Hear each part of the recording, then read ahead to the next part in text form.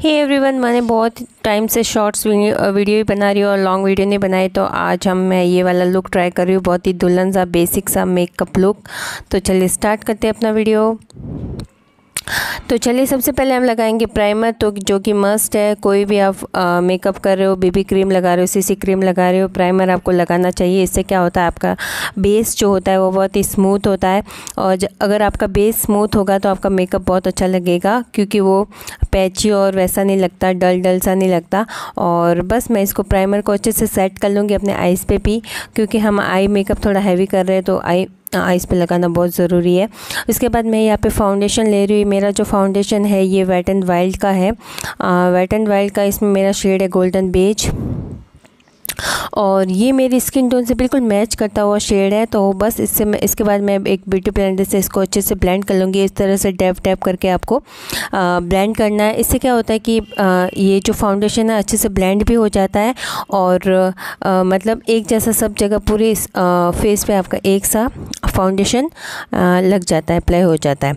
ठीक है उसके बाद मैं लगाऊँगी यहाँ पे पर्पल का कॉम्पैक्ट और कॉम्पैक्ट से सेट करना बहुत ज़रूरी है नहीं तो आपका फाउंडेशन जैसे समर्स में तो बहुत ज़्यादा पसीने के साथ ऐसे पूरा फाउंडेशन निकल जाता है तो उसको सेट करना ज़रूरी है। उसके बाद मैं आई मेकअप कर रही हूँ तो इसके लिए मैं यही फाउंडेशन को ही वापस अपने आई लिड पे लगा लूँगी अच्छे से। अगर आपके पास कंसीलर है तो आप कंसीलर ही लगाइए, क्योंकि ये कंसीलर ही लगाना होता है। इसमें एक टोन हमें लाइट चाहिए हमारे फाउंडेशन से कंसीलर तो वो आइज़ पे लगाना होता है आई लिड पर और क्योंकि जो हम मेकअप करते हैं आई लुक आई मेकअप करते हैं वो अच्छे से ऊपर के आता है। उसके बाद फिर भी मैं इसको वाइट बेस से आ, इसको सेट कर लूँगी जो हमारे उसमें होता है आई शेडो पैलेट में सबसे लाइट वाला, उससे पहले इसको अच्छे से मैं सेट कर लूँगी, ठीक है? हमेशा लाइट से शुरुआत करनी चाहिए और डार्क की तरफ़ जाना चाहिए, जो हमारा जो आई मेकअप जब जितना भी मैंने सीखा है तो इस तरह से होता है। जैसे मैंने सबसे पहले लाइट लिया, उसके बाद मैं हल्का सा देखो स्किन टोन का जो है, उससे मैं अपने पूरे eye sorry cut sorry crease पे लगा रही हूँ।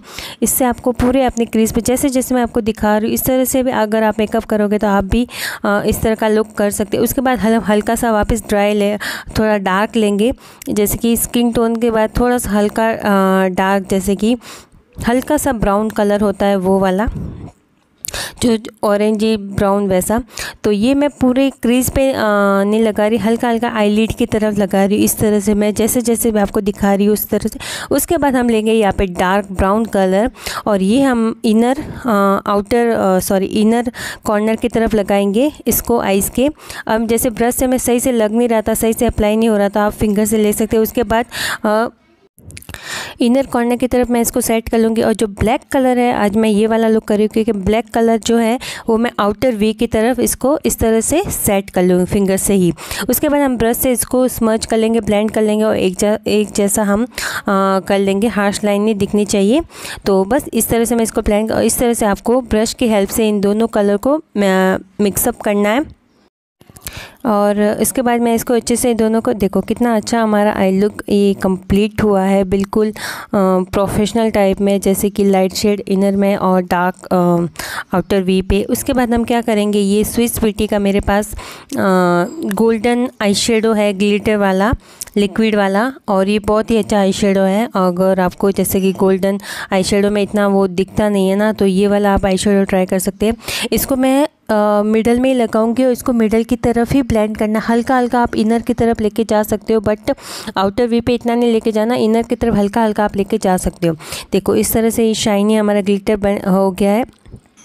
आई आई आइस पे।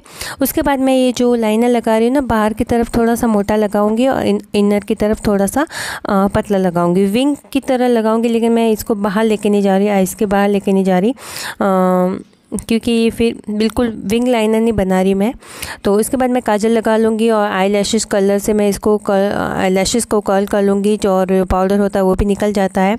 और इसके बाद मैं मस्कारा अप्लाई करूँगी। इसमें सारा पाउडर और सब कुछ जैसे हम आई मेकअप करते हैं तो पूरा फंस जाता है। उसके बाद मैं एक स्पूली से अपने आईब्रोज़ को भी कॉम कर लूँगी और वेट एंड वाइल्ड का आईब्रो पैलेट है। बहुत अच्छा पैलेट है पाउडर बेस है। तो बस हल्का हल्का मैं बाहर की तरफ़ हल्का हल्का और अंदर फिल जो करूँगी वो डार्क कलर से मैं इसको आईब्रोज़ को फिल कर लूँगी। हल्का हल्का मैं इसको आईब्रोज़ को फिल कर लूँगी। उसके बाद मैं ये कॉन्टोरिंग करी और कॉन्टोरिंग करते करते पता नहीं मैं क्या देख रही थी। इस तरह से कॉन्टोरिंग करते हैं जिससे हमारा फेस थोड़ा सा स्लिम लगता है। उसके बाद हमें ब्लश ऑन कर लूँगी। इस तरह से मैं ब्लश कर लगाती हूँ हमेशा। उसके बाद मैं हाइलाइटर लगा लूँगी नोज़ पे चिन पे क्यूपिड बो और चिक्स पे भी। और बस इस तरह से क्योंकि हम दुल्हन वाला मेकअप करें तो हाइलाइटर इज़ मस्ट और उसके बाद मैं यहाँ पे ब्रो बोन पे भी एक छोटा सा ब्रश लेके इसको हाईलाइट लगा लूँगी। उसके बाद मैं डार्क ब्राउन कलर की जो क्रियॉन है पर्पल का वही लगा रही हूँ।